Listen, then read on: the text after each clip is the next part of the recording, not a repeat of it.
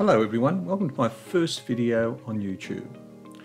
This is nearly a 7 minute hyperlapse video of what was a 12 to probably 13 hour colour pencil exercise. I searched several places for a suitable photo and settled on the one I'm using. I particularly like the detail in the 3 quarter profile, sharp focus, contours of values and the shading. There's also a highlight in the right eye of the dog which gives the subject a life of its own. I have transferred the photo outline onto an Arches watercolour paper and then started to block in the orangey brown patches with firstly a watercolour pencil and then a semi-wet artist brush. This makes a good base for subsequent layers of colour pencil without degrading the paper. Given this is a watercolour paper, it can handle it pretty well. I tend to start with the eyes. In my view, this is a critical element to the likeness of any portrait the eyes give the portrait a life of its own.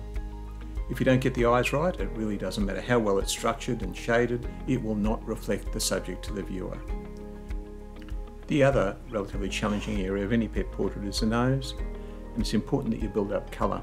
I find the easiest approach is to do the outline first, and that would include some of the creases around the nostrils, and then add a layer of indigo blue before you end up adding any black. I've also added some purple, which has given it a bit more depth and I've also left some of the lighter areas out as they were.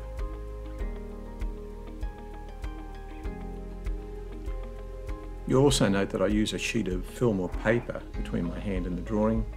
I can't count the number of times I've smudged a drawing inadvertently. The other risk with putting your hand directly on the drawing is while you may have clean hands, there are always some oils in there and if you get these onto your drawing, it's going to be very difficult to get a colour pencil layer to take smoothly and evenly.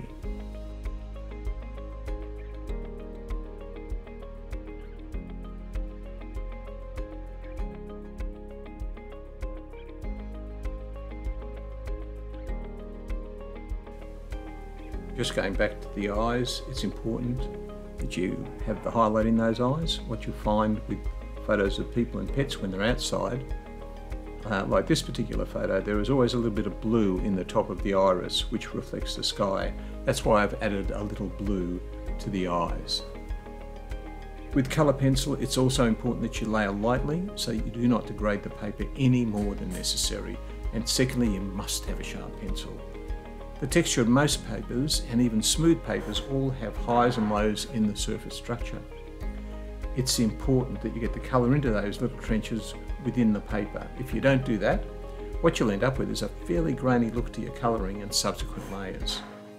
I have on occasions done 20 to 25 layers in a particular area, so it's important that you layer lightly. You'll also notice I'm using a strange little marker with a colourless tip. This is a colourless blender and this one's from Derwent. I find these pretty good to use on occasions for blending. I also blend with a, a cotton tip and you'll see this throughout my drawing as well.